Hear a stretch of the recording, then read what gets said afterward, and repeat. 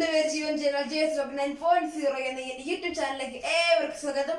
ഇന്ന് രണ്ടായിരത്തി ഇരുപത്തി ഒന്ന് ജൂലൈ മാസം അഞ്ചാം തീയതി ചരിത്രത്തിൽ ഈ ദിവസത്തിന്റെ പ്രത്യേകതകൾ എന്തൊക്കെയാണെന്ന് നോക്കാം. അതിനു മുമ്പ് നിങ്ങൾ ഈ ചാനൽ സബ്സ്ക്രൈബ് ചെയ്തിട്ടില്ലെങ്കിൽ സബ്സ്ക്രൈബ് ചെയ്യുക തൊട്ടടുത്ത് തന്നെ ബെല്ലൈക്കൻ നടത്തുക അപ്പോൾ ഞങ്ങളുടെ എല്ലാ വീടും നിങ്ങൾക്ക് ലഭിക്കുന്നതായിരിക്കും വീഡിയോ ഇഷ്ടമായ ലൈക്ക് ചെയ്യുക നിങ്ങളുടെ ഫ്രണ്ട്സിലേക്ക് ഷെയർ ചെയ്യാനും മറക്കരുത്. അറുന്നൂറ്റി എൺപത്തി ഏഴ് ജൂലൈ അഞ്ചിന് ചലന നിയമങ്ങളും ഗുരുത്വാകർഷണ സിദ്ധാന്തങ്ങളും അടങ്ങുന്ന പ്രിൻസിപ്പിയ മാത്തമാറ്റിക്ക. ഐസക് ന്യൂട്ടനെ പുറത്തിറക്കി.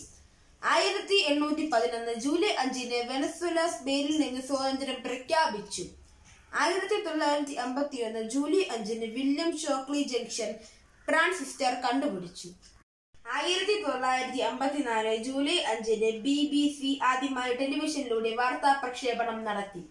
ആയിരത്തി തൊള്ളായിരത്തി അറുപത്തിരണ്ട് ജൂലൈ അഞ്ചിന് അൾജീരിയ ഫ്രാൻസിൽ നിന്ന് സ്വാതന്ത്ര്യം നേടി. ആയിരത്തി തൊള്ളായിരത്തി തൊണ്ണൂറ്റി എട്ട് ജൂലൈ അഞ്ചിന് ജപ്പാൻ ചൊവ്വയിലേക്ക് പരിവേഷണ വാഹനം അയച്ചു ഇതോടെ ശൂന്യാകാശ പരിവേഷക രാജ്യങ്ങളുടെ പട്ടികയിൽ ജപ്പാനും ഇടം നേടി. കൂട്ടുകാരെ ഇന്ന് വൈക്കം മുഹമ്മദ് ബഷീർ ചരമദിനം. മലയാള നോവലിസ്റ്റും കഥാകൃത്തും സ്വാതന്ത്ര്യ സമര പോരാളിയുമായിരുന്നു ബേപ്പൂർ സുൽത്താൻ എന്നറിയപ്പെടുന്ന വൈക്കം മുഹമ്മദ് ബഷീർ. പത്മശ്രീ പുരസ്കാരം കേന്ദ്ര സാഹിത്യ അക്കാദമി ഫെലോഷിപ്പ് തുടങ്ങി നിരവധി പുരസ്കാരങ്ങൾ നേടിയ അദ്ദേഹം ഏറ്റവും അധികം വായിക്കപ്പെട്ട എഴുത്തുകാരിൽ ഒരാളാണ്.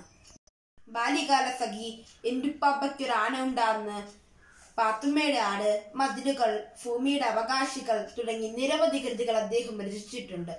ആയിരത്തി തൊള്ളായിരത്തി എട്ട് ജനുവരി ഇരുപത്തി ഒന്നിന് കോട്ടയം ജില്ലയിലെ വേക്കത്ത് ജനിച്ച മുഹമ്മദ് ബഷീർ ആയിരത്തി തൊള്ളായിരത്തി തൊണ്ണൂറ്റി നാല് ജൂലൈ അഞ്ചിന് കോഴിക്കോട് ബേപ്പൂരിൽ അന്തരിച്ചു. കൂട്ടുകാരെ നിങ്ങൾക്ക് ഈ വീഡിയോ പ്രയോജനപ്പെട്ടു എന്ന് വിശ്വസിക്കുന്നു. നല്ലൊരു ദിവസം ആശിച്ചുകൊണ്ട് നിർത്തുന്നു. നമുക്ക് നാളെ ഇതേ സമയം വീട്ടിൽ കാണാം. അതുവരെയും എല്ലാവർക്കും നന്ദി നമസ്കാരം.